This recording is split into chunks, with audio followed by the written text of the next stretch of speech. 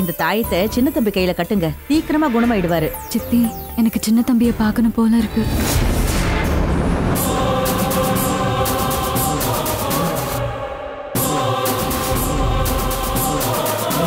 அங்க பாருங்க.